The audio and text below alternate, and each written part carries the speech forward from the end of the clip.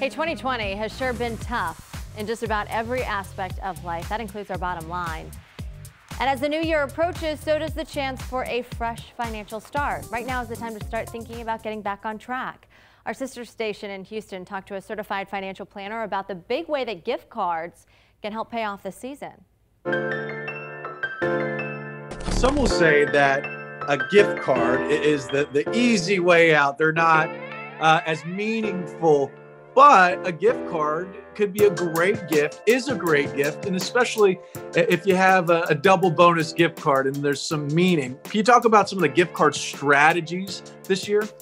Yeah, gift cards, of course, I think they get a really bad rap sometimes, but the truth is they can be one of the most thoughtful gifts. Now we also have a way to give gift cards where they're giving back to the community as well. One way you can do that is a gift card to a charity. One of my favorites is Donors Choose. What you can do is give a gift card to the recipient and they then allocate which classroom. Small businesses have taken a hit during the pandemic and you know what? They could use some help. So even getting a gift card to a small local business.